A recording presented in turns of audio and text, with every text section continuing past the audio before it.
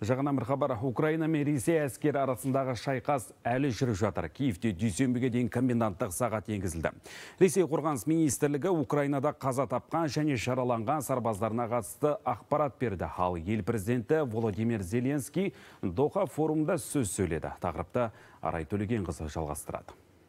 Украина қарулы күштері мен Ресей әскері Мариуполь көшелерінде қиян кескі ұрыс жүргізіп жатыр. Авиациялық соққы астында қалған қала күйреуге жақын.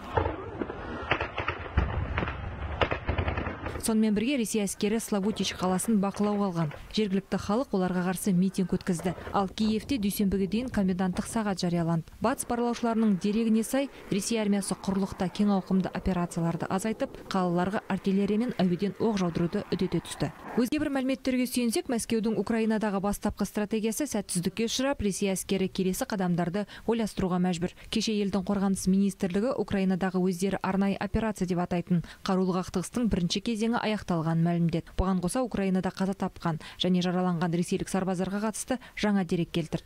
В целом основные задачи первого этапа операции операцияның бірінші кезеңінде негізгі мақсаттар түгел орындалды. Украина қарулы күштерінің жауынгерлік әлеуетін әлсіреттік.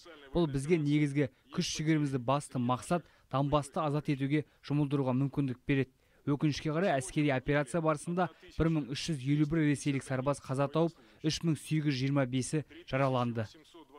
Ресей тарапының мәлімдеуінше 14 мың украиналық сарбаз қаза тапқан. Киев бұл мәліметті жоққа шығарып президент владимир зеленский 16 мың ресейлік әскери қызметкердің өлгенін мәлімдеді. Сонымен бірге зеленский мәскеумен келіссөздерді жалғастыруға үндеді. Украина президенті доха халықаралық форумында видео байланысқа шығып мұнай өндіретін елдерді өндіріс көлемін ұлғайтуға үндеді. Катар тәрізді энергетикалық ресурстарды экспорттаушы елдер еуропаны тұрақтандыруға өз үлесін қоса алады. Мен өндірісті арттыруды сұраймын. Ресей энергияны әлемді бопсалайтын қару ретінде қолдануға болмайтынын түсінуі тиіс.